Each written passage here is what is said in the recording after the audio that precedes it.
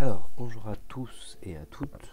On va dans cette vidéo parler euh, de Karl Marx.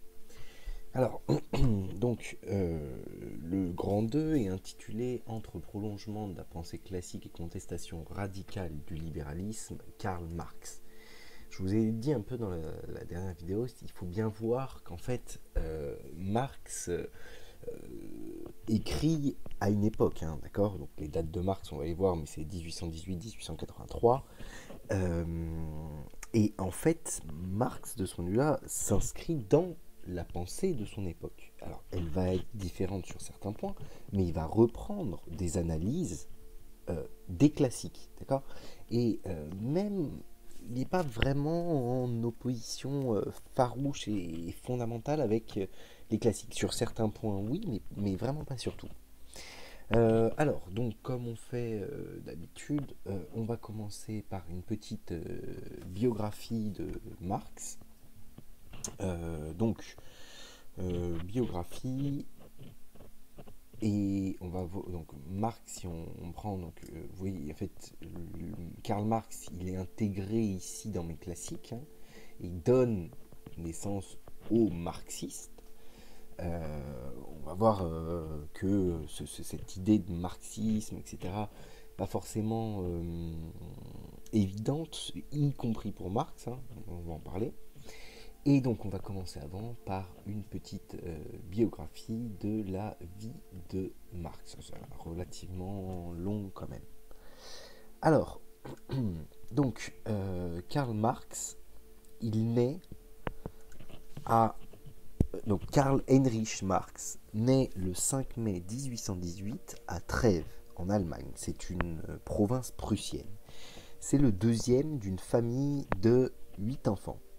Son père, Heinrich Marx, euh, né en 1777 et meurt en 1838, est un avocat issu d'une famille de rabbins juifs ashkénazes. Le grand-père était devenu rabbin mais euh, déjà à l'époque, euh, vous allez voir que ça va être le cas de Marx aussi, euh, ses fils et ses, fils avaient reçu une éducation peu religieuse. donc, et oui, et de marchands de donc était issu d'une famille de et de marche donc le, père excusez-moi et de marchands propriétaires de vignobles dans la vallée de la Moselle. Le père, euh, Heinrich Marx, pour exercer sa profession d'avocat, avait changé son nom. Euh, il s'était converti au protestantisme et il avait du coup changé son prénom et était passé de Heinrich à Herschel. Euh, alors, je vous tac, je montre, donc Marx. Euh, ça, c'est une photo qui prend. On va, voir, c'est une photo vraiment une des photos les plus connues un peu de Marx. Et il la prend peu de temps, euh, peu de temps avant sa mort.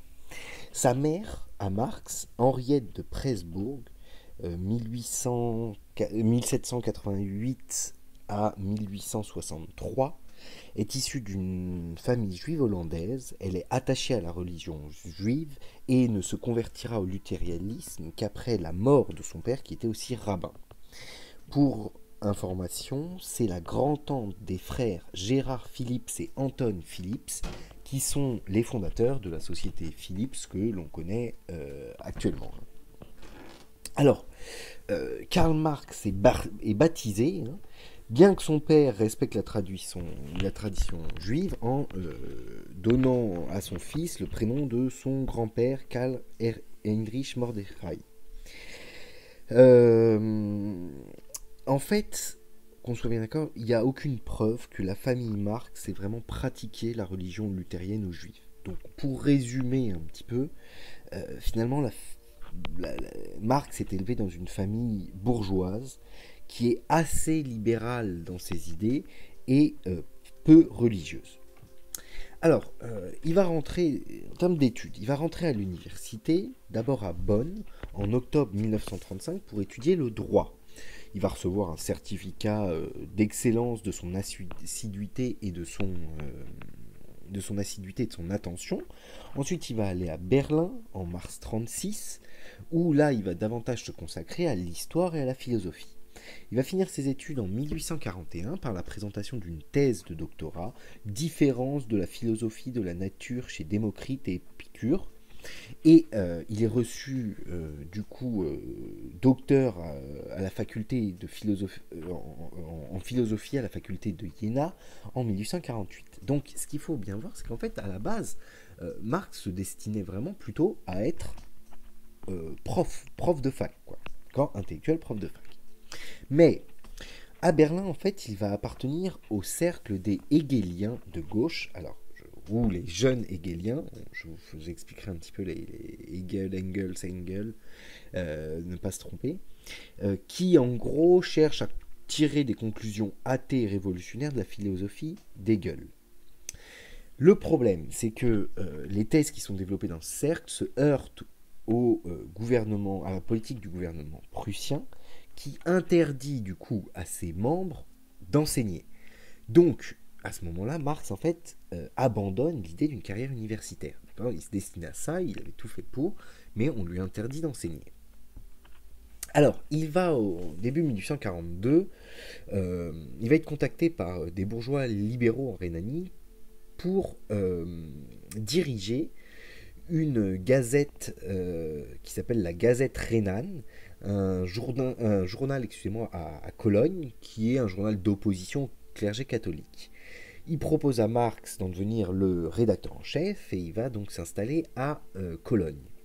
Mais la tendance démocratique révolutionnaire du journal va entraîner une triple censure en fait de la part du gouvernement.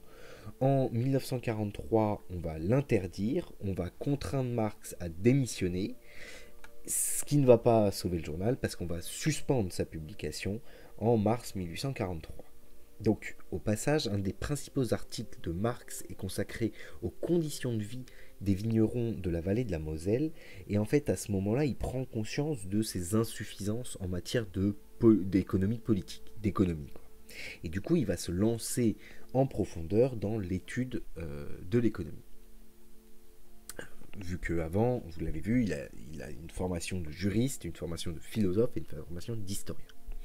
Alors, en termes de mariage et de euh, famille, en 1843, Marx va épouser son amie d'enfance, Jenny von Westphalen, euh, avec laquelle il était euh, déjà fiancé. Alors, elle, c'est une femme qui est issue de la noblesse rhénane. Son frère aîné va même devenir ministre de l'Intérieur du royaume de Prusse, un des moments les plus réactionnaires qu'a connu le pays. Le couple a eu sept enfants, mais seules trois filles vont parvenir à l'âge adulte. Jenny Caroline, euh, Laura, euh, oui, qui meurt en, fait, Jenny Caroline, qui va mourir la même année que son, père. Jenny Caroline, 1843-1883. Laura, 1845-1911. Euh, et Jenny Julia Eleonore, 1855-1898. Euh, au passage, Laura va épouser Paul Lafargue, qui est un socialiste français, et euh, Jenny va épouser Charles Longuet, qui est une personnalité de la Commune de Paris. Euh, Éléonore va se marier avec un Britannique. Donc, c'est-à-dire que les deux premiers, les deux premières, en fait, vont se marier avec des personnes qui sont extrêmement engagées. les gendres de Marx l'admiraient beaucoup. Alors, Marx a eu un fils naturel, Friedrich Demunt, euh, issu d'une relation avec la bonne de la famille, Hélène Demunt. Et euh, en fait, euh, ce, fils naturel va être reconnu par Friedrich qui est Engels, excusez-moi, qui est un des très bons amis de, Marx. Donc, Marx a eu trois autres enfants qui sont morts en bas âge. Edgar, qui 1847-1855, donc qui est mort à 8 euh, ans. Euh, Heinrich, 1849-1850, c'est-à-dire qui est morte à 1 an, et Francisca, 1851-1852, qui est morte aussi à 1 an. Et euh, c'est vrai que la mort d'Edgar, donc lui, il avait 8 ans, semble avoir été très douloureuse pour le couple Marc, Carl et, Jenny. Alors, pour info, il, il, était surnommé Marx le mort, M-A-U-R-E, hein, surnom qui lui était donné parce qu'il avait un teint qui était très foncé et des cheveux vraiment noirs, ce qu'on ne voit pas sur la photo. Alors, euh, donc son engagement euh, politique. Donc, on a vu, il se fait censurer euh, lorsqu'il est journaliste. Et du coup, en 1843, il va se réfugier à Paris pour publier un journal radical à l'étranger. Ça s'appelle les Annales franco-allemandes, mais et qui montre déjà un, côté déjà assez révolutionnaire, mais ça va pas très bien fonctionner parce qu'il y a en fait des problèmes de distribution à Paris en 1843, il va rencontrer Friedrich Engels, qu'il avait croisé euh, auparavant, et là c'est vraiment le début d'une amitié profonde. Donc Engels, c'est un étudiant euh, en philosophie qui est aussi partisan de Hegel, je vous explique tout ça, euh, qui va qui va en fait aller travaillé dans, dans, la, firme commerciale de, à Manchester dont mon père est propriétaire. Et Engels va vraiment rencontrer la, misère prolétarienne dans toute son, ampleur et il va l'étudier systématiquement et il va en sortir un ouvrage qui s'appelle La condition des classes laborieuses en Angleterre, publié en 1845. Et du coup, en fait, après leur rencontre, Marx et Engels euh, vont travailler de concert à plusieurs ouvrages. Donc, dans les années 1980, 1840, excusez-moi, 1880, 1840, Marx et Engels vont euh, pas mal participer à la vie bouillonnante des groupes révolutionnaires parisiens. Euh, beaucoup d'entre eux étaient pas mal influencés par les doctrines de Proudhon, hein, du sociologue français Proudhon, et de son ouvrage euh, Philosophie de la misère. Et en fait, Marx qui admire Proudhon dans un premier temps, hein, va en faire une critique très sévère en publiant un ouvrage qui s'appelle Misère de la philosophie. Et euh, l'avant-propos montre bien le caractère polémique et ironique du style de Marx. Quand vous lisez Marx, c'est vrai que euh, c'est assez particulier, mais c'est quelque chose d'assez... Enfin, c'est cru, c'est des fois. Voilà. il dit, en France, il, en parlant de Proudhon, a le droit d'être un mauvais économiste parce qu'il passe pour être un bon philosophe allemand. En Allemagne, il a le droit d'être mauvais philosophe parce qu'il passe pour être économiste des plus forts. Nous, en notre qualité d'Allemand et d'économiste, nous voulons protester contre cette double erreur. D'accord? Ce qui n'est pas ultra sympa de, d'expliquer que le gars euh, ne vaut pas une bille en, philo et en, et en éco. Euh, donc il va critiquer vraiment euh, Proudhon, alors que c'est vrai qu'il avait quand même une certaine admiration pour, pour lui dans ses débuts. Sur la demande du, gouvernement prussien, Marx, qui est considéré comme un dangereux révolutionnaire, va être chassé de Paris en 1845 et il va aller du coup à Bruxelles où il va une fois de plus rencontrer les différents opposants politiques. En 1847, Marx et Engels vont rejoindre un groupe politique clandestin qui s'appelle la Ligue des communistes. Donc, qu'on soit bien d'accord, euh, Marx n'invente pas le communisme. Oui, il y a une contribution au communisme, mais c'est pas lui qui invente le communisme. D'accord? Et donc, il y a différentes versions du communisme, dont un communisme qui se base pas mal sur la pensée marxiste, effectivement, mais c'est pas lui qui invente le communisme. En revanche, c'est vrai que euh, ils vont rédiger, on va, on va leur demander en novembre 1947, en, mais en fait ils, publient, le publient en, 1948, euh, de rédiger le manifeste de la Ligue des communistes, qui s'appelle en fait le manifeste du Parti communiste, et c'est dans ce manifeste du Parti communiste qui est rédigé, je le précise, par Marx et Engels, hein, euh, qu'on a eu le développement de la pensée euh, communiste version marxiste de euh, Marx et de Engels. alors, donc, excusez-moi, en 1848, il y a pas mal de révolutions qui vont éclater euh, en France en février et euh, ensuite en Allemagne. Donc Marx va repartir en Allemagne. Après la victoire de la contre-révolution en Allemagne, Marx est poursuivi, devant les tribunaux, il va se défendre lui-même et va être acquitté en 1849, mais le gouvernement prussien va quand même l'expulser, euh, bien qu'il soit euh, prussien. Il va retourner à Paris, puis il va être chassé après la manifestation du 13 juin 1849, et il va partir ensuite à Londres, où il va résider jusqu'à la fin de ses jours. La vie de Marx en exil est difficile on en a vraiment un témoignage dans sa correspondance. Alors, il reçoit un petit soutien financier d'Engels, effectivement, qui leur permet de souvenir, survivre. Excusez-moi. Mais euh, Marx et sa famille doivent faire vraiment face à une misère extrême. Donc, il ne faut pas euh, penser que Marx est un euh, penseur qui est assis dans un canapé bourgeois et qui réfléchit aux conditions de, la misère ouvrière. Oui, il n'est pas ouvrier lui-même et, ne, travaille pas à l'usine et c'est un, penseur quand même, ça oui, hein, mais il ne vit pas dans des, dans, des conditions euh, de vie euh, euh, fastueuses, d'accord? Il écrit par exemple Ma femme est malade, la petite Jenny est malade, Lenny a une sorte de fièvre nerveuse. Je ne peux et je ne pouvais appeler le médecin, faute d'argent pour les médicaments. Depuis huit jours, je nourris la famille avec du pain et des pommes de terre. Mais je me demande si je pourrais encore me les procurer aujourd'hui. Et en fait, d'ailleurs, Edgar, en fait, va mourir de sous-alimentation. D'accord? Quand même un de ces enfants qui meurt euh, de sous-alimentation. Euh, à ce moment-là, en fait, il va écrire pas mal d'articles euh, qui va regrouper sous le nom du, de, sous un titre qui s'appelle Le 18 Brumaire de Louis Bonaparte, qui décrit en fait les débuts de la Deuxième République et le coup d'État de, de, Bonaparte qui va aboutir au Second Empire. Il publie ça il publie ça, et cet ouvrage, en fait, quand on parle du Marx euh, sociologue, euh, eh bien, en fait, on parle de, euh, on parle de cet ouvrage, d'accord? Euh, il, a une description dans cet ouvrage. C'est là qu'il parle, ça rappellera peut-être des souvenirs certains, de classe en soi et de classe pour soi, d'accord?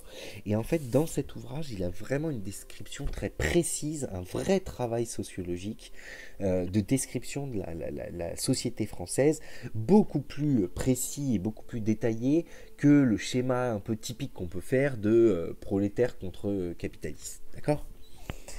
Alors, il va, à partir de l'année 1962, il va commencer la rédaction euh, du Capital.